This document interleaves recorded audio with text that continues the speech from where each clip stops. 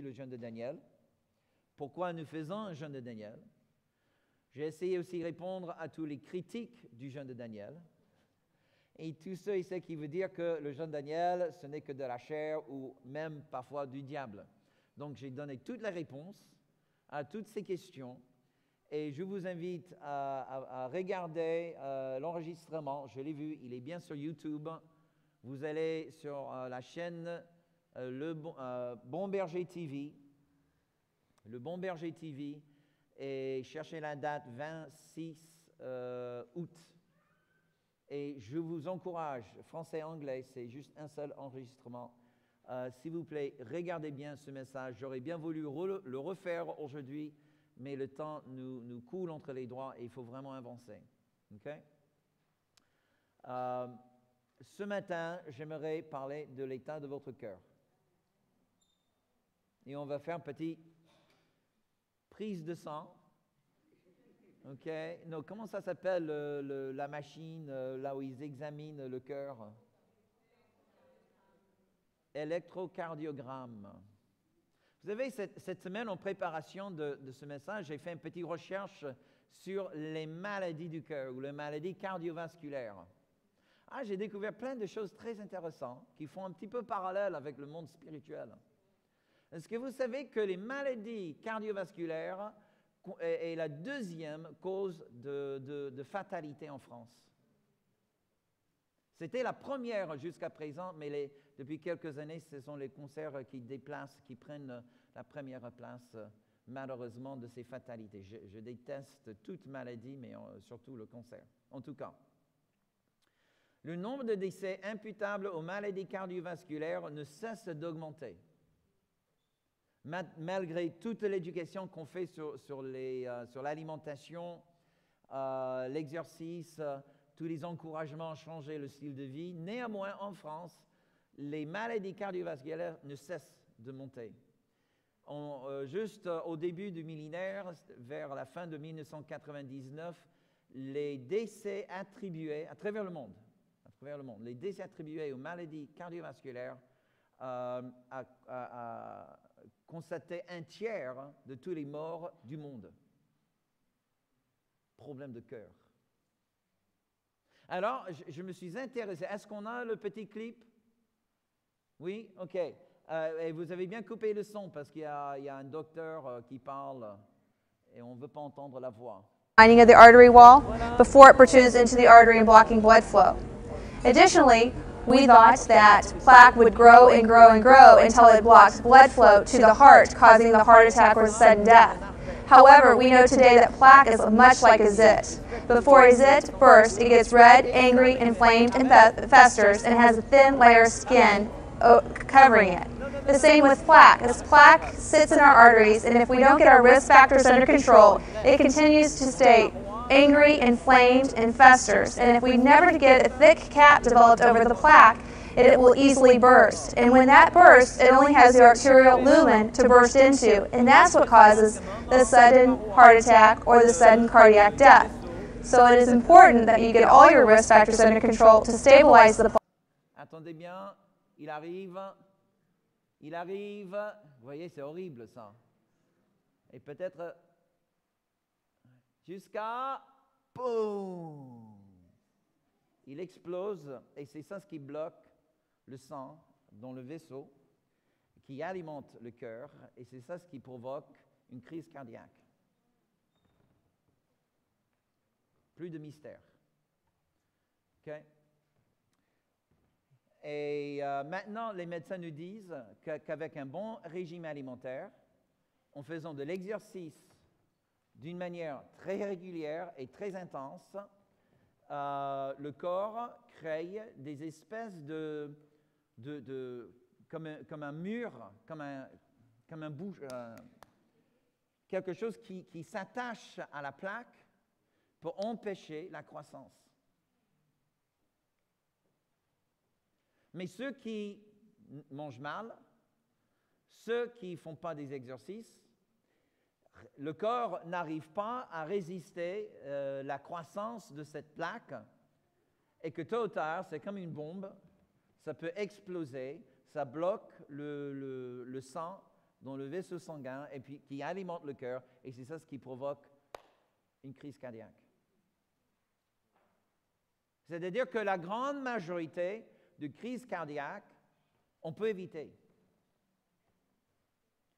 Je venais vous dire qu'il y a à peu près 20 ans, un tiers de tous les morts sur la Terre sont dus à ce genre de, phénomène, et la grande majorité, on peut éviter.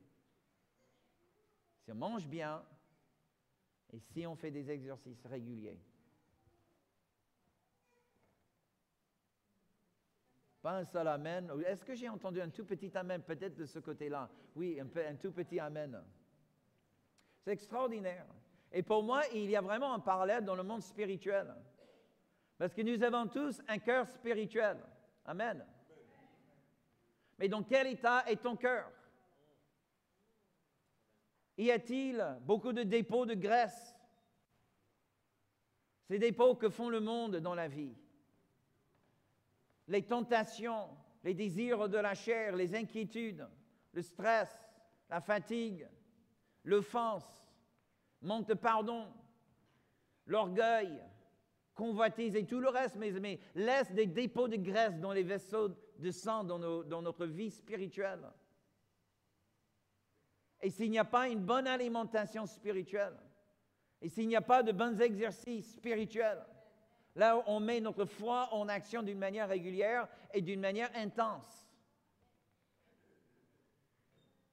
Ça ne va pas résister au développement de plaques spirituelles et ça peut exploser dans un vaisseau et provoquer une crise cardiaque de la foi. Et je suis chrétien depuis bien longtemps maintenant. Wow. J'ai donné ma vie à Jésus, j'avais à peine 14 ans. Et mon premier message j'ai prêché, c'était dans notre club biblique au lycée.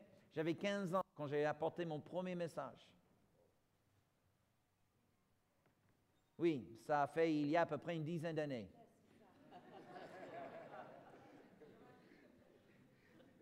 Se voit, non? Oh, Seigneur. Euh, vous savez que le prédicateur commence à vieillir quand, pour son message, il recherche les crises cardiaques sur l'Internet. Mais je crois que l'histoire de Néhémie, parce que Néhémie, c'est vraiment notre texte pendant ce jeûne de Daniel. On va parler beaucoup de Néhémie et ce temps. Mais pour moi, le livre de Néhémie, je l'ai relu juste cette semaine, c'est vraiment une histoire de cœur. C'est une histoire de cœur. Déjà, lorsque Néhémie était au service du roi de Perse, la Bible dit que son cœur était interpellé par rapport à l'état de la ville de Jérusalem. Toute l'histoire avec Néhémie commence avec le cœur. Lorsqu'il était au service un jour, le roi voit que le cœur était déchiré chez Néhémie. Et le roi lui pose la question, Qu'y a-t-il avec ton cœur? Bonjour Marise. Comment vas-tu? Désolé, je viens te voir. Tu vas bien? Super. Et, le voyage euh, à Jérusalem, ça se prépare. Ah, super. Le 22, super. Y, a-t-il encore de la place pour les Parisiens? 49 euh, Lève-toi juste un instant. Est-ce que vous voulez bien l'accueillir? Ce n'est pas la première fois que Marie soit parmi nous.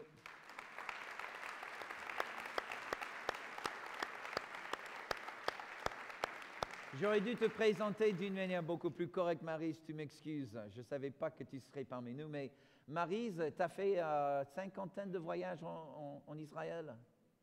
Une cinquantaine de voyages avec des groupes, euh, c'est un professionnel. Mais vraiment, et euh, ne fait pas ses 45 ans, franchement. Elle ne le fait pas du tout, et, mais, mais, une femme absolument extraordinaire. Tu as toute notre admiration et notre respect, Marise, tu le sais. Et si vous vous intéressez à faire un voyage un de ces jours euh, en Israël, allez voir Marise à la fin du culte. Euh, pour revenir sur Néhémie, Dieu travaille son cœur. Et lorsqu'il arrive à Jérusalem, ayant obtenu du roi les autorisations et des biens, il ne dit pas un mot à tous ceux qui habitent à Jérusalem de peur de troubler le cœur. Il garde dans son cœur tout ce que le Seigneur avait mis dans son cœur pour la sainte ville.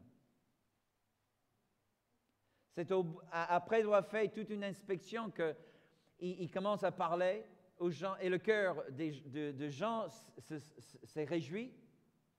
Mais quand Sanballat le mauvais, Tobia et puis il y avait un troisième gars, euh, et euh, quand ils ont appris qu'ils avaient repris la construction de la muraille, ils ont commencé à menacer les gens de Jérusalem. Et là, le cœur du peuple était troublé. Hmm. C'est pour ça que je vous dis, mes amis, Néhémie est vraiment une histoire de cœur. C'est pour ça que j'aimerais vous poser la question ce matin. Quel est l'état de ton cœur? Vous savez, il y avait trois rapatriements des Juifs. Le prophète Jérémie avait déjà prophétisé que le temps de Judas est arrivé à sa fin et que ceux de Judas allaient être amenés en, esclavage en Babylone. Et cela a été fait. Jérémie s'est échappé, on ne sait pas où il a passé la fin de sa vie. Daniel, c'est le prophète qui fait le pont entre la fin de, l'empire de Juda et le, le, premier rapatriement. Nous croyons que Daniel est mort en Babylone, mais c'est lui qui, qui déchiffre la prophétie de Jérémie et qui commence à se mettre en prière. Seigneur, on, arrive à l'aboutissement des 70 ans de la captivité. Appelle à ton peuple à retourner au pays. C'était ça vraiment la prière de Daniel, mais il est mort en Babylone sans jamais avoir revu Israël et Jérusalem. Zorobabel, un prophète, était le premier euh, qui amène, on, va dire, une colonie pour, euh, pour euh, recommencer une vie à Jérusalem, parce que Jérusalem était inhabitable à cette époque. La ville était complètement renversée, pas une pierre laissée sur une autre. Zorobabel, un prophète avec beaucoup de zèle, a amené quelques zélés pour repeupler euh, Jérusalem. Mais ils se sont très fatigués et très rapidement. Ensuite, des années plus tard, des décennies plus tard, Esdras. Esdras qui était un lévite. Il est retourné avec quelques-uns pour rebâtir le temple, le temple de l'Éternel. Mais encore, ils se sont fatigués par la suite. Ils n'ont jamais rehabiter Jérusalem. Jérusalem avait un temple, mais aucune vie. Et puis finalement, on arrive à Néhémie. Et Néhémie, ayant reçu de Dieu cet appel à rebâtir les murailles, parce que les nations, les nations païennes se moquaient de l'Éternel et ils se moquaient des Juifs, le peuple de Dieu. Et Néhémie amène la troisième et dernière repatriement des Juifs en Terre sainte. Mais vous savez où la grande majorité des Juifs ont resté? En Babylone. Et pourquoi la majorité des Juifs ont resté là-bas? Merci Marie. À cause du confort. Contraire à la captivité en Égypte, là où les Juifs, en arrivant, sont devenus riches très vite, mais au fur et à mesure, ils étaient amenés dans l'esclavage et la pauvreté. Et de leur pauvreté, ils criaient Dieu, oh Dieu, envoie-nous un sauveur, délivre-nous de cet esclavage. Mais où était ce, cri de la part des Juifs en Babylone? Ils ne criaient pas pour un salut. Ils ne demandaient pas un sauveur. Pourquoi? Le confort. Ils sont devenus riches, ils sont arrivés des esclaves. Mais au fur et à mesure, ils, obtiennent leur liberté et leur légitimité aux yeux des Babyloniens. Ils ouvrent des commerces, ils achètent des terrains, ils construisent des villas. La vie en Babylone était vraiment une vie aisée. Hello. Et quand Dieu, et vous savez ce qui est extraordinaire, contraire à Moïse lorsque Dieu a cherché parmi les Hébreux un sauveur. Dieu ne cherche pas parmi les Juifs pour un sauveur, pour les faire revenir sur la terre promise. Dieu cherche parmi les païens et choisit un homme nommé Cyrus. Un païen, Dieu élève un païen. Pourquoi? Parce que le peuple était trop dans leur confort.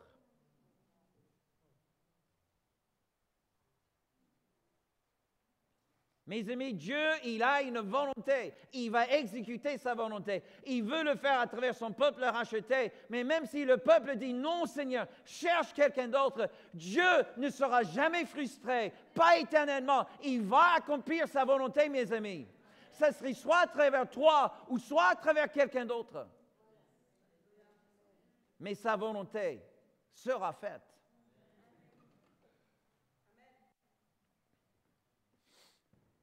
Et pour moi, c'est les, on, voit quand même une image du cœur. Et ma question ce matin, ton cœur, l'état de ton cœur, est-ce que ton état est comme l'état de cœur des Juifs qui ont resté en Babylone? Et c'est un cœur qui, qui accepte le fait, c'est ce que j'appelle le christianisme light. Le christianisme light. OK, c'est léger, mais quand même, il y a du goût.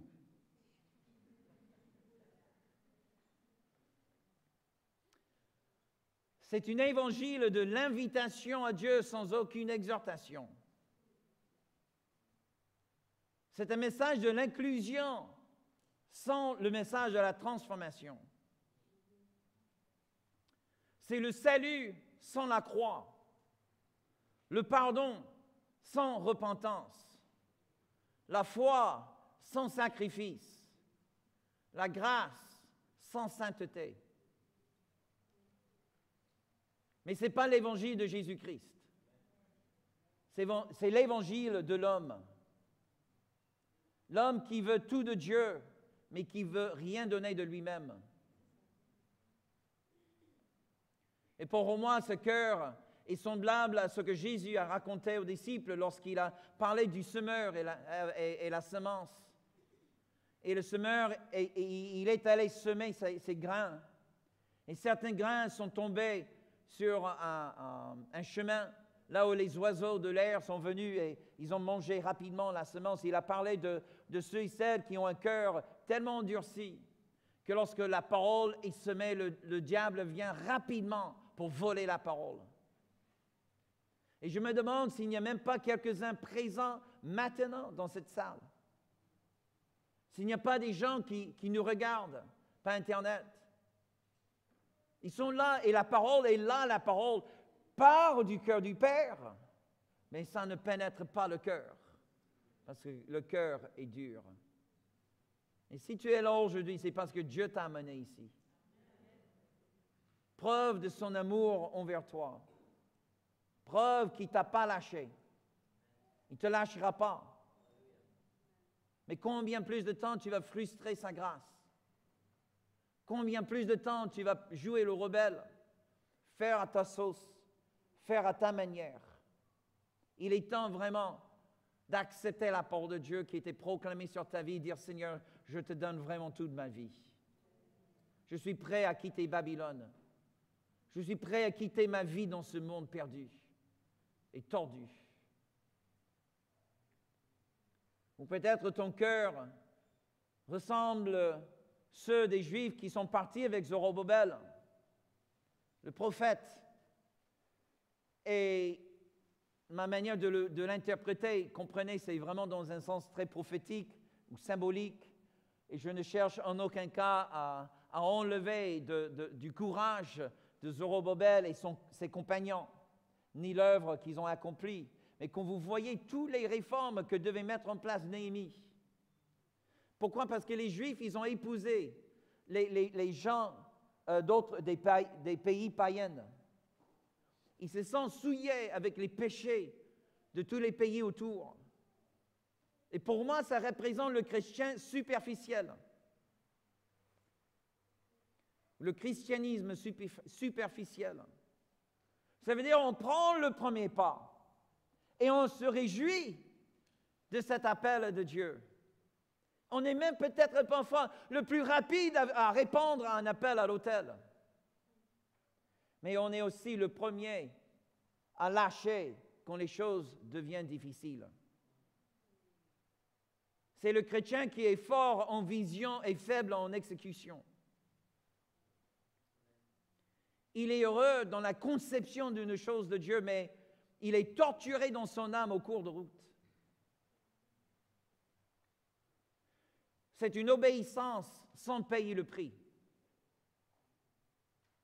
C'est de prendre la route en regardant en arrière. C'est d'être content de faire repartir des choses, euh, des, des choisis, pardon, de faire repartir des choisis, tout en regrettant les choses qu'il fallait quitter.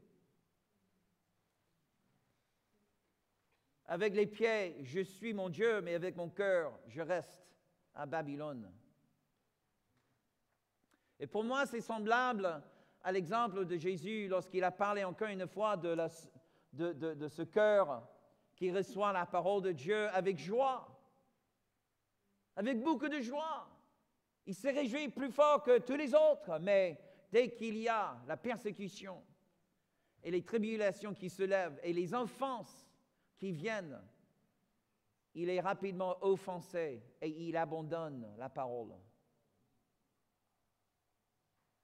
Si tu es dans le Seigneur depuis au moins quelques années, certainement, tu connais déjà quelqu'un qui a commencé bien, mais qui a fini mal. Car il y en a beaucoup qui commencent et très peu qui durent jusqu'à la fin. Vous savez, j'étais dans la natation depuis l'âge de 5 ans jusqu'à l'âge de 21 ans.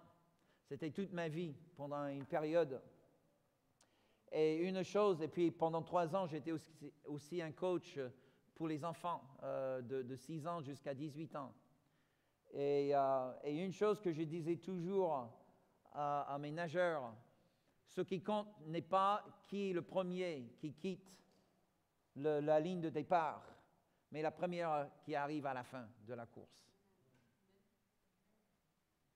Et parfois, je les mettais dans les piscines jusqu'à 10 mètres de, la, ligne d'arrivée et on répétait, on répétait, on répétait les derniers 10 mètres dans la piscine pour qu'ils comprennent que ce n'est pas le début qui compte, c'est la fin qui compte. Et mes amis, ce qui compte pour vous et pour moi n'est pas la manière dont nous avons commencé. Gloire à Dieu l'histoire de ta conversion. Gloire à Dieu, quelle belle histoire de grâce divine. Mais ce qui compte véritablement, c'est la fin. Toi, tu te réjouis du jour de ton mariage, mais les générations qui vont te suivre vont, se réjouir de la manière dont tu as fini ta vie dans la fidélité et dans la loyauté l'un envers l'autre. C'est ça ce qui va marquer le monde, pas le jour du mariage, pas l'amour que vous avez eu au début, mais l'amour que vous avez eu à la fin. Quel est l'état de ton cœur? Peut-être tu es un peu comme ceux qui sont partis avec Esdras. Enfin, un lévite. Enfin, sacrificateur. Enfin, quelqu'un qui connaît quelque chose de la maison de l'Éternel. OK, plus sûr avec lui. Et encore sans jamais vouloir retirer du courage et, de la fidélité des gens de l'époque, pour moi, ça parle symboliquement d'un état de cœur qui n'est pas tout à fait purifié. Car encore une fois, lorsque Néhémie vient des années plus tard, les Juifs vivaient dans le péché. Donc ça ne suffisait pas de juste avoir la présence de Dieu dans la vie. Ça ne suffisait pas juste de, pouvoir venir. Euh, ils, ne louaient pas Dieu le, dimanche, c'était le samedi. Mais bon, pour reprendre un petit peu notre style de vie. Ça ne suffisait pas pour eux juste venir un dimanche et passer un bon moment ensemble dans la présence de Dieu et tout le reste de la semaine vivre comme on n'était jamais touché par la présence. Je vous ai déjà parlé du christianisme light du christianisme superficiel, pour moi, ça c'est le christianisme passionnant. Il est fortement excité, mais rapidement épuisé.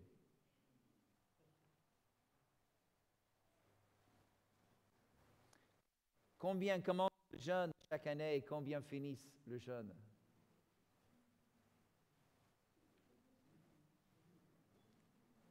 Hmm. Je ne regarde personne. Il se porte facilement volontaire. Mais il lâche, mais il ne lâche jamais son attachement au monde. Et il donne trop facilement place à la chair.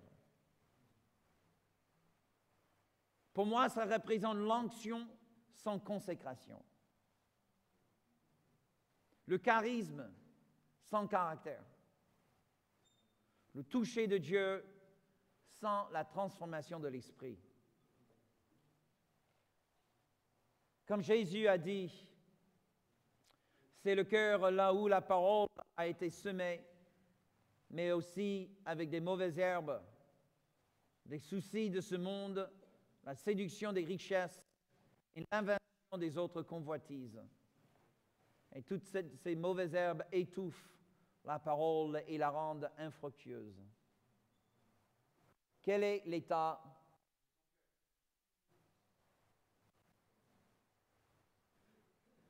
Ou enfin, on arrive à Néhémie? Est-ce que tu as le cœur bien disposé? À faire tout ce qu'il faut faire pour accomplir la volonté de Dieu, malgré les épreuves, les menaces et le coût personnel. Si c'est ton cas, tu as le cœur comme les compagnons de Néhémie, qui ont pris à cœur le travail de rebâtir les murailles et faire habiter la ville sainte. Pour moi, mes amis, c'est le christianisme biblique.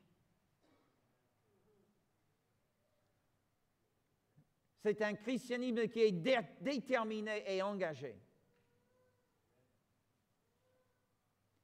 On ne mesure pas la sanctification par la hauteur dont nous sautons le dimanche matin pendant la louange, mais la droiture par laquelle nous marchons de lundi à samedi.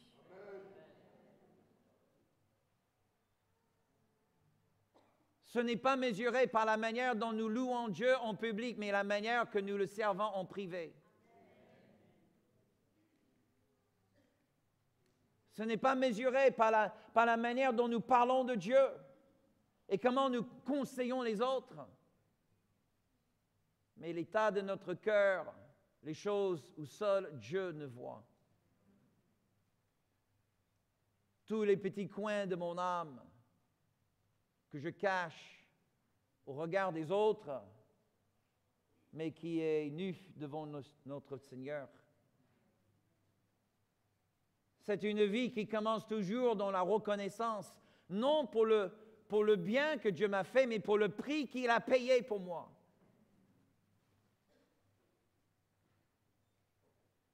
C'est une identité qui est ancrée en Jésus-Christ et un comportement marqué par la croix de Calvaire.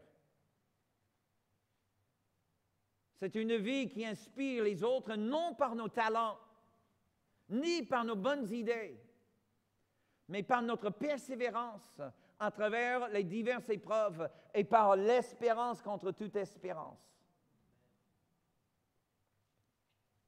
Comme Jésus a dit, c'est le cœur qui entend la parole, la reçoive et elle porte du fruit 30, 60 et 100 fois. Quel est l'état de ton cœur aujourd'hui? Si tu es comme moi, je, trouve de bien et bah, de moins bien, on va dire. Et ce que je trouve dans mon cœur ne te regarde pas. Mais en même temps, ce que j'ai dans mon cœur pourrait avoir un impact dans ta vie. Donc ça regarde à Dieu. Mon message aujourd'hui n'avait comme objectif pas du tout la condamnation de personne,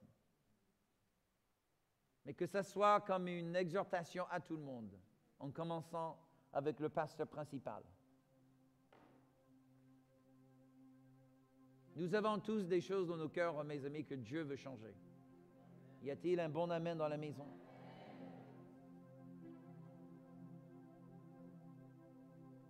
Je ne cherche pas à mettre de la honte sur toi, ce n'est pas l'objectif. Mais de dire aujourd'hui est un jour de changement et de transformation.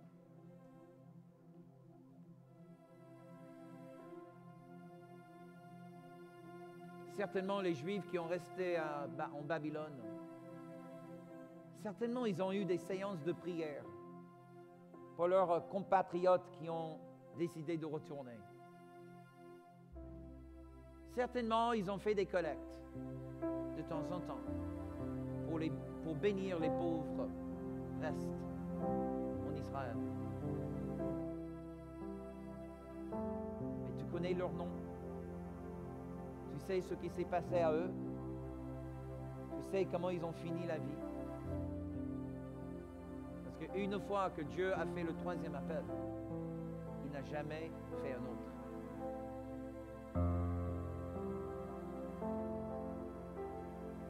Combien de temps Dieu va t'appeler? Ça, je ne peux pas dire. Mais dans les appels de Dieu, il y a toujours un dernier. Il y a toujours un dernier appel.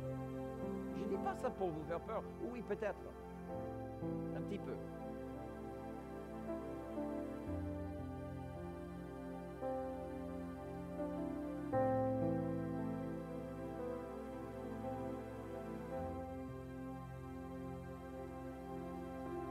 Pour moi et ma maison, nous servirons l'Éternel.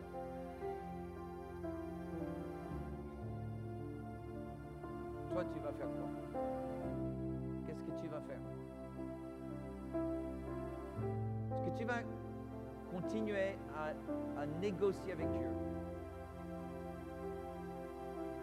Un petit peu maintenant, un petit peu plus plus tard. Tu ne peux pas négocier avec Dieu. Il ne, il ne négocie jamais.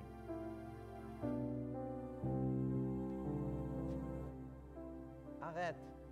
Ça sert à rien. J'ai essayé pendant des années et des années des années.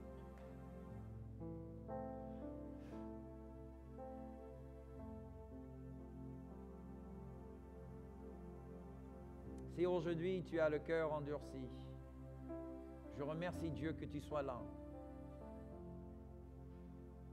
Je remercie Dieu que tu as entendu ce message. Peut-être aujourd'hui. Non, je ne dis pas peut-être. Je dis, aujourd'hui c'est le jour de salut pour toi.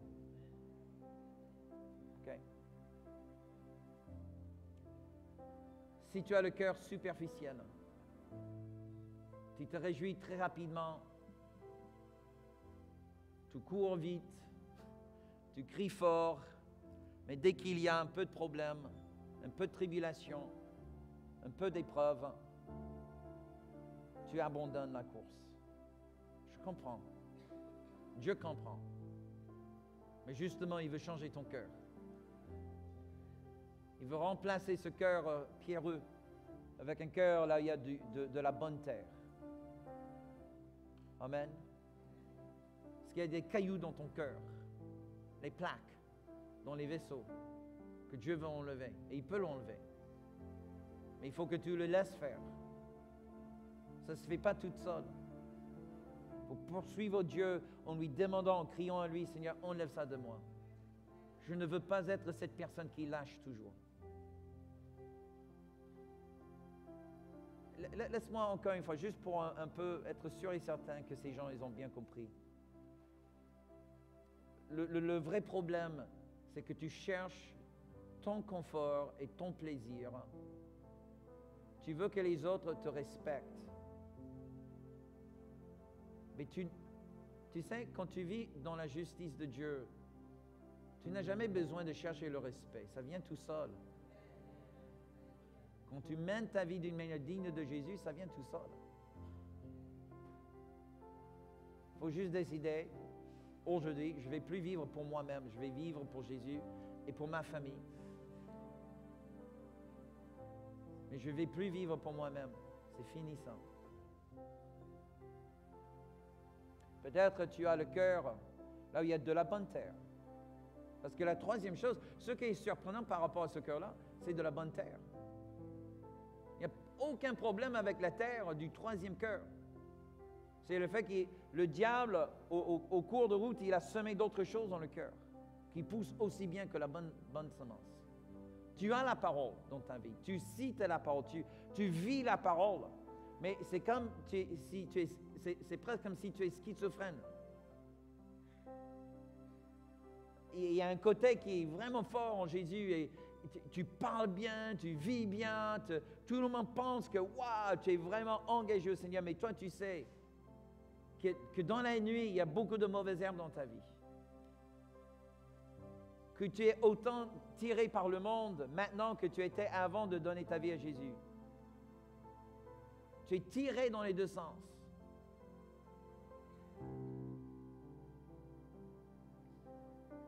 Dieu veut t'aider à enlever ces mauvaises herbes. Mais il faut décider de renoncer aux choses du monde. Ce qui est bien dans le monde et ce qui est mauvais dans le monde. Couper net. Amen. Et pour ceux qui disent, mais Seigneur, mon cœur est vraiment là. Je suis à 100%, je suis à 200%. Alléluia. Vous savez que même en cours de route, le cœur peut se fatiguer. Comme dans le cas de Néhémie. Comme dans le cas des Juifs qui rebâtissaient le muraille jusqu'à la moitié de la hauteur. Et Sanballat est venu. Il a commencé à, rassembler ses armées. Et les chrétiens, euh, les chrétiens, les juifs disaient, oula, oula, quand est-ce que je vais m'occuper de ma maison, quand même?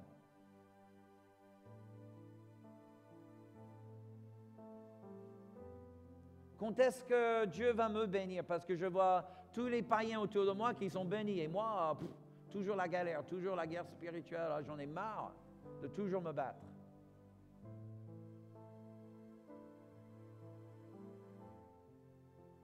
Heureusement, sur la croix, Jésus n'a pas eu cette pensée.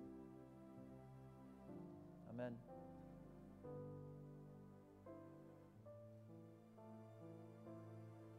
J'ai vu le témoignage d'une jeune femme récemment qui a perdu son, son euh, audition, merci. Et elle aimait tellement la musique. Elle aurait pu abandonner. Mais s'est dit quand même, peu importe que j'ai perdu mon audition, je vais continuer à chanter. Et elle a appris à entraîner sa voix par les vibrations et par le mémoire musculaire pour chanter et chanter bien. Et quand je l'ai entendu chanter, éblouissant. Tu penses que tu as des problèmes, tu penses que tu as des soucis. Si tu en as, mais ce n'est pas aussi grave que le diable t'a fait penser. Amen. Tu es un appelé, tu es, tu es un choisi de Dieu. Lève-toi Lève-toi et marche comme un choisi de l'Éternel. Lève-toi et vis comme quelqu'un racheté par le sang précieux de Jésus-Christ. Levez-vous, s'il vous plaît. Si je peux voir les équipes de prière.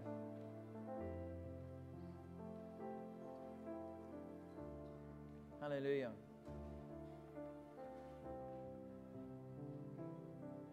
Si le Saint-Esprit t'a touché ce matin, OK, on va, on va clôturer le culte, on arrive à la fin. J'ai oublié les nouveaux horaires et normalement on arrive à la fin du culte là. Pour ceux qui sont nouveaux, euh, le culte commence désormais à 9h30, premier, le deuxième à midi. OK? Donc, euh, on va clôturer le culte ici. Je vous invite faire deux choses ce matin. Déjà, un, si le Saint-Esprit a touché ton cœur, venez et priez avec un responsable. Surtout, surtout si tu étais dans cette première catégorie de cœur endurci. Surtout toi, j'aimerais vraiment faire de la place ici pour toi. OK?